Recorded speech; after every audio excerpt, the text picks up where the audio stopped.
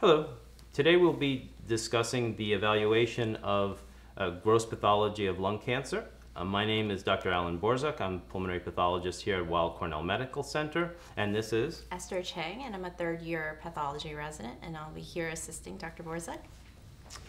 While the gross evaluation of lung specimens is not the most common specimen in the gross lab, it does represent an important specimen type because of the severity of lung cancer and the importance of the gross evaluation for the purposes of staging. The first part of this is really pre-work. We need to make sure that the specimen is uh, correctly labeled and came from a particular patient. Uh, mm-hmm. this was already done prior to us uh, taking the specimen out, but we do need to make sure of specimen identification. Mm -hmm. At that point, we need to check the medical record. We need to check the medical record for a variety of reasons. What are the sorts of things that we check today on this specimen? Well, we like to know how many nodules are there, what's the size, uh, where's the location specifically, and of course, like which lobe and which segment, if anything, um, depending what sort of specimen it is. Now, we uh, ascertained that this was a lobectomy specimen. However, we do get other specimen types in the laboratory in the resection of lung cancer. One of those is a smaller but wedge resection. Uh, in a wedge resection, how would those uh, details that you looked up help you? Well, for one thing, if we can find the mass, and then we can correlate the size of the gross mass size with what we find on CT or ultrasound or any sort of radiological findings. And then um, from there, we can also measure from the mass to the actual margin itself in which we would ink. Now, if the radiology on the particular uh, patient uh, showed something that said on the order of a solid lesion, how would that affect your thinking?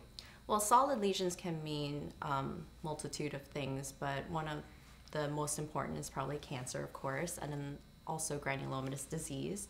But if it's semi-solid, you also think of um, cancer as well, and um, of course, ground glass lesions can be another multitude of entities. Now, how will that affect your approach to the specimen? Well, if it's a solid nodule, I can actually, I can suspect that I can actually palpate the lesion. And from there, I can do a gross measurements of like the largest length.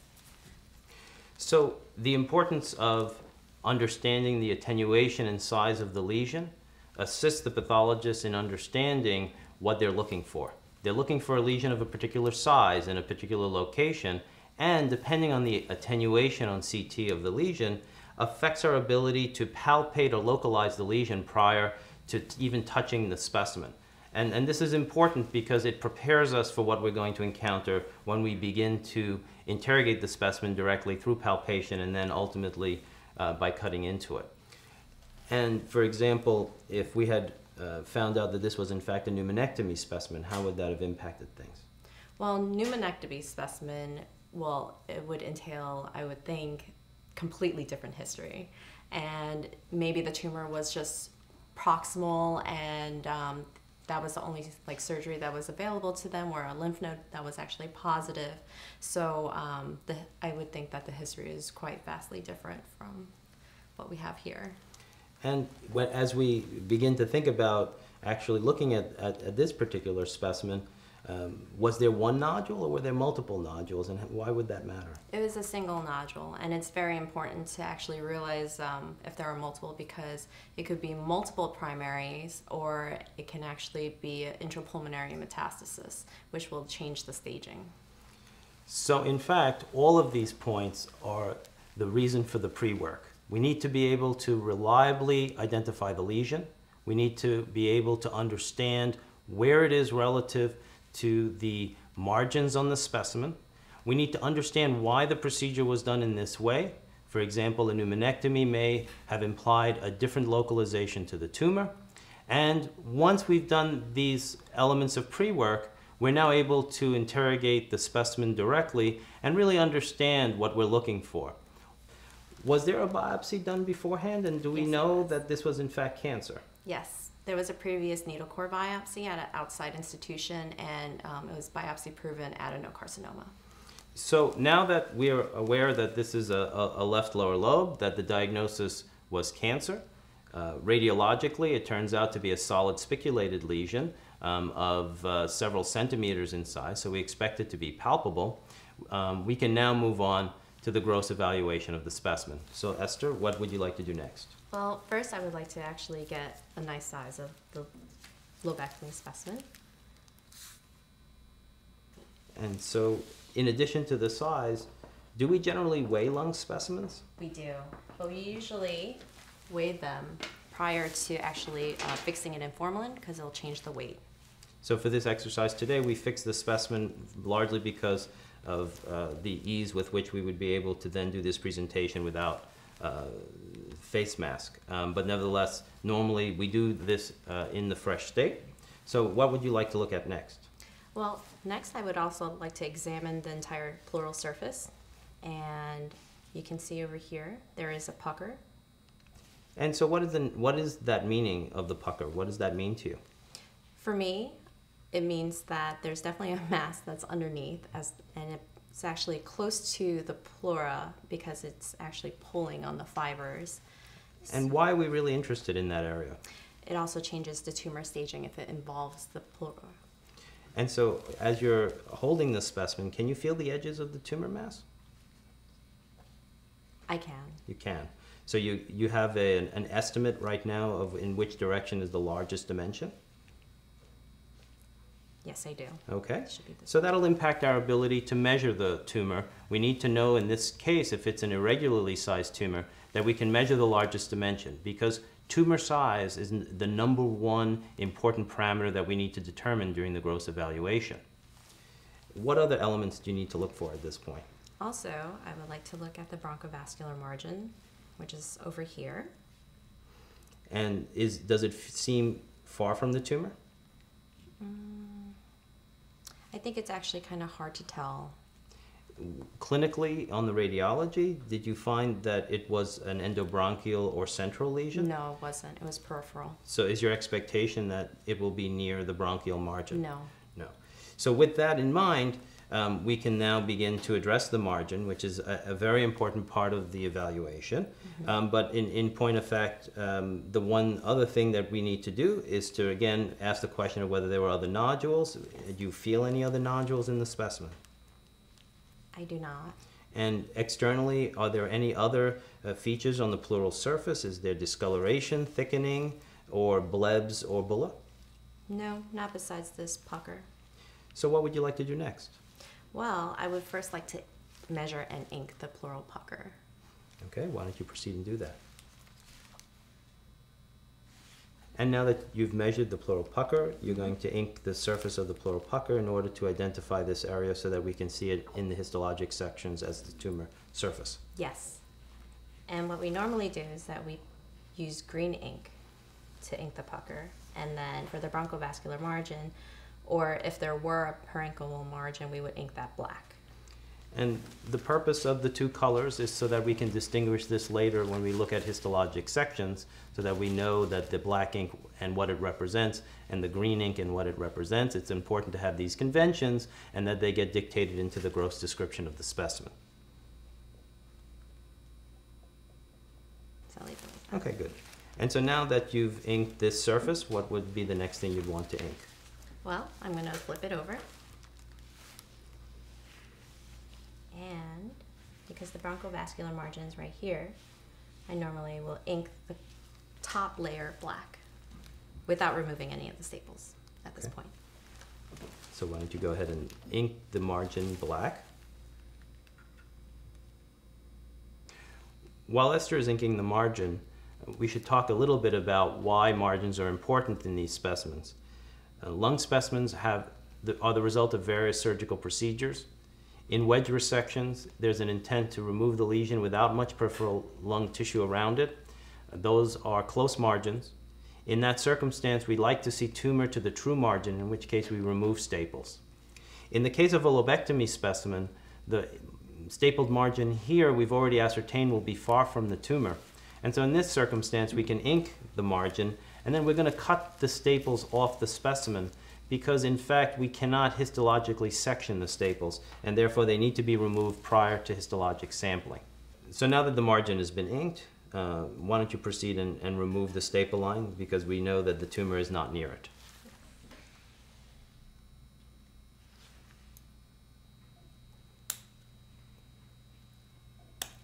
There you go. So now that the staple line has been removed, what would you like to do next? Well, now what I would like to do is actually measure the bronchovascular margin. Um, this, by removing the staples, I can actually clearly see where the bronchus is, where the artery and the vein is. So I think this will provide a better like measurement. So you're going to measure the diameter of those structures, Yes. and then you're going to take sections from them, Yes, and you're going to essentially submit those as the bronchovascular margin. yes, I will. And why don't you go ahead and do that then? And what I'm going to do now is I'm going to shave the vessels off. But actually, let me make a quick measurement. Sorry.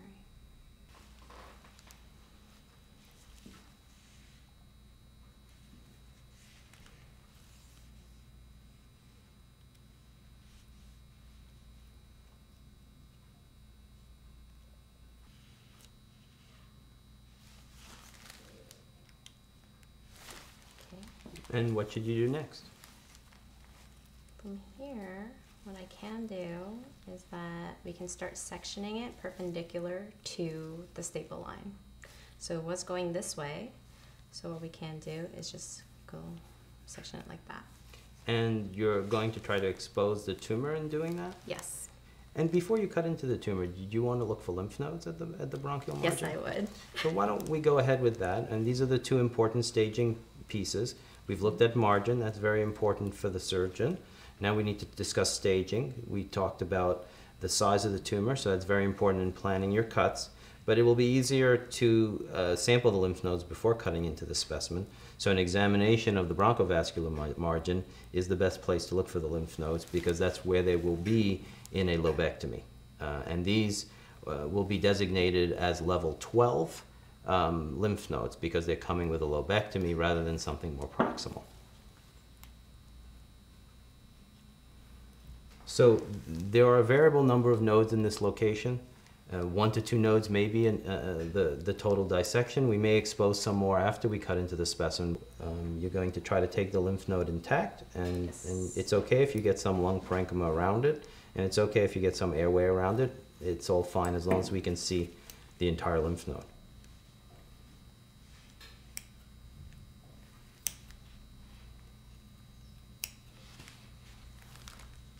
Put that over here. Okay. Okay, so now we've identified lymph nodes, and we're going to move to uh, the tumor mass itself uh, with the uh, plane of section like you described to expose the longest extent of the tumor so we can get an accurate measurement. Yes. So why don't you go ahead and do that with your uh, very sharp blade. Sounds good. Um, personal preference, I'm going to just lay down some towels.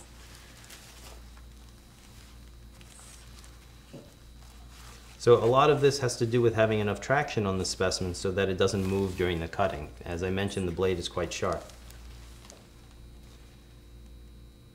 And so the goal is to get sections through the tumor uh, and also to make the sections relatively thin so that they would be suitable for uh, submission for histology.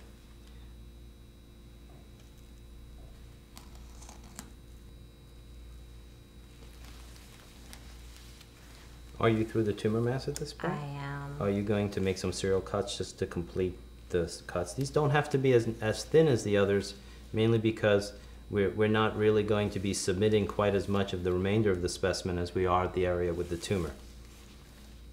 The purpose of cutting the rest of the specimen is to look to see if there are additional nodules and to also to better palpate the specimen on the thinner slices. Mm-hmm. So why don't we have a look at the tumor? So tell me what you see. So it's a fairly well circumscribed white firm mass, and you can see it going, reaching out into the pleura. And so as you look at it, what are the things that you're thinking about the color, the texture, and the relationship to the pleura? And also the location in the peripherally located, I would think of adenocarcinoma. In addition, um, the color of, of the cut surface uh, is a bit variegated. At the very periphery, it's uh, tan to white, but at the center, it's a little grayer and browner, and, and also it's a little bit depressed. Uh, that depressed center is very typical of adenocarcinomas in that the fibrosis that occurs in the center of the tumor causes retraction, and that retraction causes that depression. That appearance we often call umbilicated. And the umbilicated appearance is quite characteristic of adenocarcinomas, although certainly not entirely specific for it. Mm. In terms of feeling it, does it feel firm? Does it feel like lung parenchyma? No, definitely not. And, and this goes along with the clinical observation on CT scan that, in fact, this was a solid no- attenuation nodule on CT scan. Uh, one of the surprises at first in looking at it is that it doesn't look as spiculated or irregular as it did on the CT scan, Right. but perhaps a component of that had to do with the pleural pucker, and perhaps some of it is a little bit irregular as you look uh, deeper towards the bronchovascular bundle.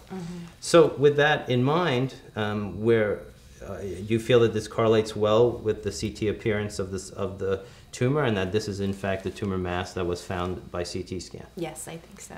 So, what would you like to do next?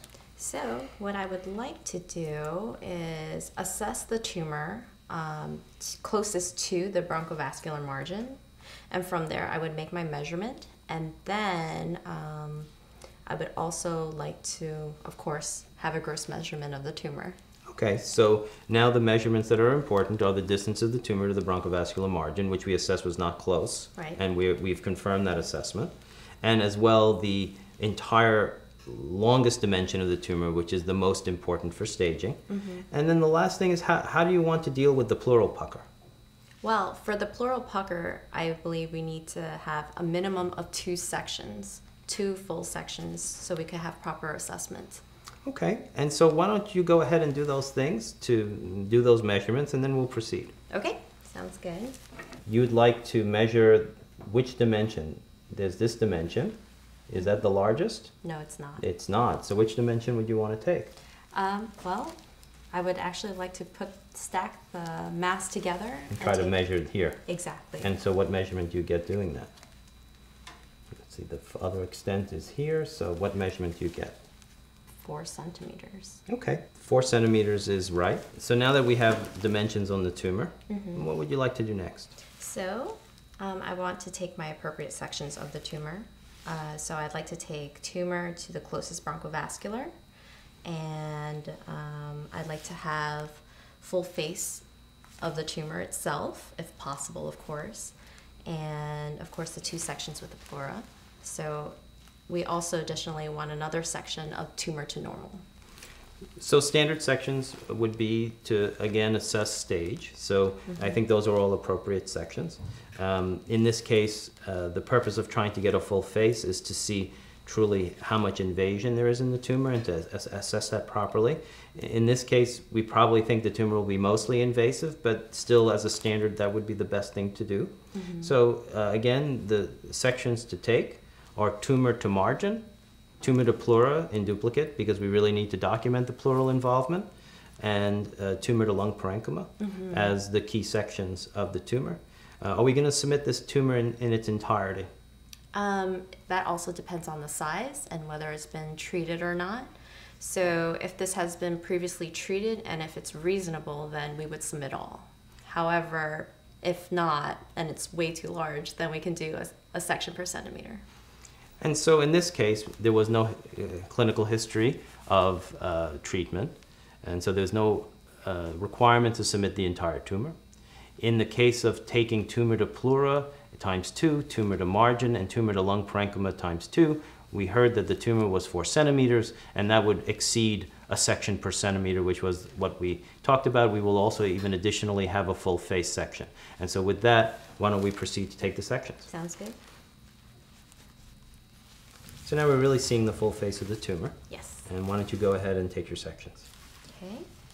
So I want the tumor closest to the bronchovascular margin. I'm just going to make a cut here. And so a few words about sectioning while Esther is doing that. Our goal is to not make the sections too large because they will be uh, difficult to fix in the tissue processing. And so some people use, say, a nickel. I think we tend to go a little bit bigger than a nickel. Uh, but certainly when we look at our histology cassette, the tissue should not be greater than three quarters of the cassette. Um, the other consideration is that the thickness of the slices uh, should not be too great. Uh, certainly, if you're having difficulty closing a cassette, the tissue is definitely too thick. Probably two to three millimeter thickness is about right. Mhm. Uh, you can go a little bit thicker with certain tissues, but beyond that, it's, it, it becomes again difficult to fix. Mhm. Uh, so we've already sliced it thinly, so you can go ahead and continue. Sounds good. So I just removed the tumor to the bronchovascular margin. Um, I believe this section can go in its entirety. So it would also include the pleura, and it's practically a full face of the tumor, Mhm. and it goes from the tumor to normal as well. Okay, so uh, that is a slightly big section. It is. Um, we might need to trim that down Yes, a little bit on the sides, so we won't get the tumor to lung parenchyma from this section. Okay. Um, but again, we want to keep our histology technicians happy and Mhm. able to do their job. So with this section, I'm also going to have another pleura to tumor. And I'll have this section to also have tumor to normal. Okay. So, So again, when taking the sections of tumor to pleura, it's important to really get the complete base of the pucker. And you can see that in the section that Esther's cutting right now, in that the base of the pucker is V-shaped. This will be the area of maximal retraction, and is usually the area when there is invasion that we'll find the pleural invasion. So that's a very important section. And so now, from the same slice, you're going to show a relationship of tumor to normal. And because you were so efficient with that one section, we're just at the verge of not having a centimeter, a section per centimeter. So you're going to take one more from somewhere uh, that has tumor in it. okay. And you could do that from the remainder of the specimen just to get a different sample from a different area. Okay. So part of the reason we like to see the interface between the tumor and the normal is that there are certain patterns of adenocarcinoma that are different in different parts of the tumor. And so we're trying to get areas that uh, would uh, sample the tumor completely um, so that we can see all the different patterns of adenocarcinoma, especially if there within it would be a pattern histologically that would predict either a more favorable or a poorer prognosis. And so we need to classify the adenocarcinoma in addition to measure it. And so that's the purpose of taking several sections. So now we've addressed the tumor, and so we've taken our sections and shown the relationship uh, for staging, measurements, and Mhm. And we also have our sections for heterogeneity so that we can assess the different histologic types. Mhm. So what do we want to do next? Well, I like to inspect the uninvolved lung and make sure that there aren't additional nodules. And so again, the purpose of doing this, first of all, there may be nodules or, or lesions present that were simply not detected by imaging. And so it would be important for us to identify them. Uh, secondarily, uh, there may be aspects of lung pathology that are not related to the tumor, that might be related to a history of smoking or to what we call interstitial lung disease, that is, lung fibrosis. So we want to make sure that the lung parenchyma that's not involved by the tumor has been properly inspected for additional nodules and also for additional pathology. In that case, we would take a sample from that area to try to demonstrate that pathology. So, so far, are you finding anything, Esther? No, I'm not. How would you describe the lung parenchyma as you are holding it in your hand and palpating it? Well, it has this um, almost like a spongy feel to it. So um, And would you say that that's a normal feel for lung? that is a normal feel. It certainly isn't firm, so I'm not thinking that there's any sort of consolidation. So what I'm doing right now is that I'm looking for nodules, but not only am I looking for nodules, I'm feeling it. And I would say that the palpation is probably more important than even the visual inspection. And so it's really critical that uh, the technique that Esther is showing of holding the slice in her hand and rolling the slice in between her thumb and forefinger be done because that's how we can feel uh, a little uh, nodule uh, like a, a small ball within the specimen which would uh, direct ourselves to taking a sample from that area. And so continue to inspect the rest of the specimen. I mean, other features as you're holding the specimen up um, in the slices is that uh, when we look at the cut surface, um, why don't you hold that up and why don't you tilt it a little bit this way? Uh, okay. Actually, you can see It's the like light. You can you see the air spaces right now. Are they visible? No, not in that area. Not particularly, right? Mm-hmm. So if at an arm's length the air spaces are visible, that's usually a sign of emphysema or some abnormality. But if it really is stretching and straining to see the alveolar spaces at arm's length, they're probably relatively normal. So if they feel normal and they look normal, then you're you can move on. So uh, we're getting the impression, I think, from multiple slices that this is an area of hemorrhage. We've sampled it twice. Yes. I think that's enough for this particular area. I think we can move on. Oh, Dr. Borczuk, I do have a question. So, in regards to submitting a normal lung parenchyma for this particular specimen, I n- understand that it's supposed to be distant from the tumor. However, because we additionally have like other findings, so where exactly is the best place to sample? We should take a minimum of two normal sections Mm-hmm. uh, in our evaluation. Um, it is difficult here because there is that other area of abnormality, which could be uh, hemorrhage rather than something uh, parenchymal lung disease. Mm-hmm. We didn't really find a lesion of fibrosis or emphysema to particularly sample. What I would do is I would pick areas of two areas of lung that were not near the two areas of hemorrhage, but perhaps uh, closer to the tumor, but not near the tumor in these slices, uh, just to see a couple of different areas of lung. Okay. And at the same time, to look for lymph nodes just to make sure we haven't missed any. So let me just hand you this slice that we had looked at before. Okay. And because as we were talking, I did notice that there was just a tiny, maybe two, three millimeter lymph node right mm-hmm. here near the airway. So we're going to take that one. Okay. Okay, so why don't you take the slice from me and why don't you take that section? Okay, Okay. Mm-hmm. And then I'm going to take a section from here, it sounds good. and perhaps we could trim this down We'll afterwards. trim it down before we submit. I think that's a good idea. Again, it just makes it easier for the tissue to fix. Um, there are other reasons. Uh, it, it will help histology to cut the sections, but also as we think about immunohistochemistry uh, and other ancillary tests that we may need to do, uniform fixation of the specimen is an important parameter for the success of those tests, uh, as it probably is for the success of molecular tests. So we have to be thoughtful about not uh, underfixing or overfixing the specimen. With that, I think we've we've searched for lymph nodes. We did find an additional small lymph node or two. Um, we have sampled normal lung parenchyma, and, we found another area which uh, we're concerned about uh, enough to look at it microscopically. And so, with that, why don't we review the sections we've taken uh, from this uh, part of it, which would be the, the sectioning part of the gross examination? So, for the first submission, we have the bronchovascular margin, in which we shave off the margin and we put the margin of interest face down into the cassette. The next that we submit are all our lymph nodes that we find. And the section after is the tumor to the bronchovascular margin, the closest to. Then we have two sections of full face of the tumor, as well as its involvement to the pleura. And over here, we have two additional sections in which it has the tumor to um, the uninvolved normal lung. And of course, we found additional findings of possible hemorrhage, so we took two additional sections over here.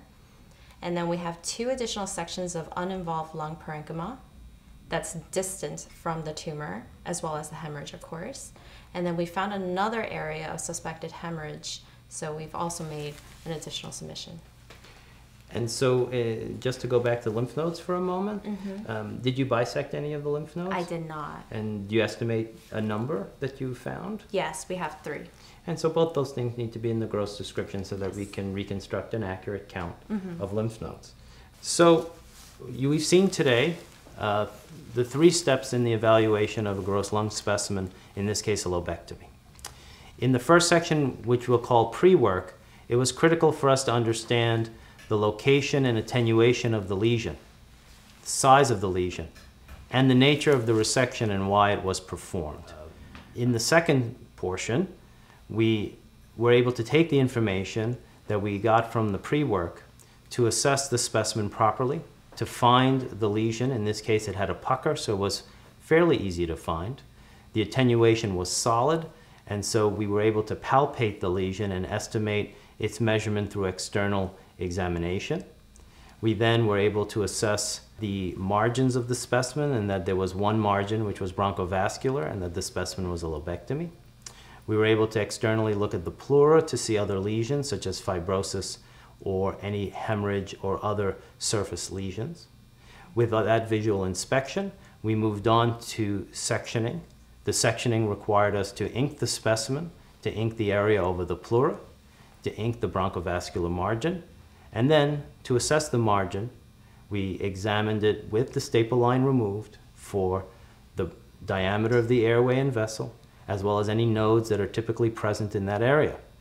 We then proceeded to section the tumor, attempting to expose its full face so that we could see its relationship to other structures, and to also then serially section the normal lung to look for other lesions as well as the adjacent lung parenchyma.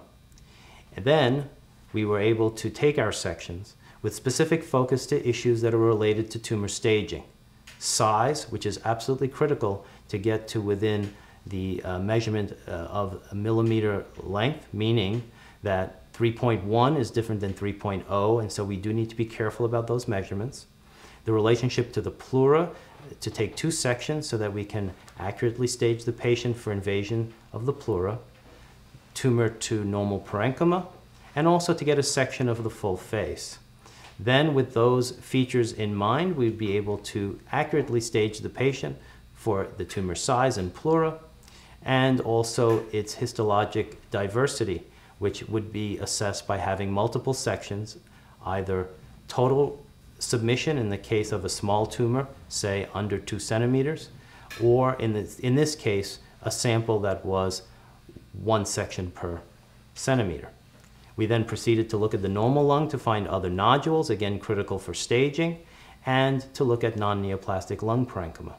We then made sure that these were accurately labeled in submission to histology and that the sections themselves were of good quality so that we would get good fixation. At that point, we're able to complete the dictation and to finish the gross evaluation of uh, this uh, lung cancer lobectomy. So with that, it's been a pleasure talking to you about this topic today, but I will turn to Esther for a moment if she has any additional comments to make. Well, just a single one, Dr. Borczuk. Um, essentially, if you have any questions and if you're confused about how to gross a specimen and for some reason the grossing manual doesn't clearly define how to gross it, feel free to call an upper year resident as well as the attending who's on with you or any attending to review the specimen with you. I, think that's a great point, and uh, we are a team and we work together well. And with that, I want to congratulate you on an excellent job and thank you for joining me today. Thank you.